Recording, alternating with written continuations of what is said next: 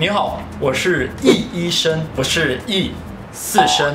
我的专长是专门治疗阅读过敏症。什么是阅读过敏症？摆在书柜上的书籍总会有积累非常多的灰尘。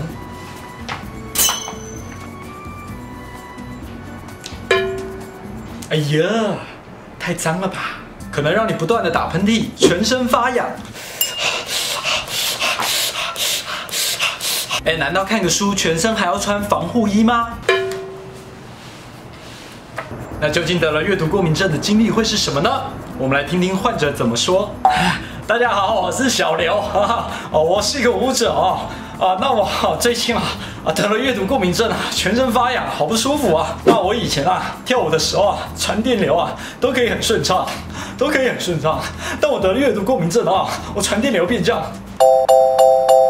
一解一解到，很不顺畅，很不顺畅哦。奇怪，我怎么做得出来以前的样子？人生好苦，人生好苦。那究竟得了阅读过敏症该怎么办呢？让我来告诉你。哟，饶是世界有阅读过敏症的朋友，香人在这边为你解忧哦。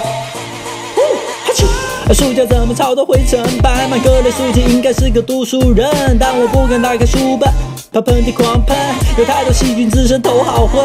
哦，握着书，我的手很脏，过敏儿的身份让我心很慌，身体好痒好痒，真的好想好想把所有书柜全部丢掉，一定超爽。Yeah，只是看个书，怎么好痛苦？一本又一本，居然脏像骨，有点想要哭。呜呜呜呜，五七三十五，五九四十五，嘿，只是看个书，怎么好痛苦？一本又一本，居然脏像骨，有点想要哭。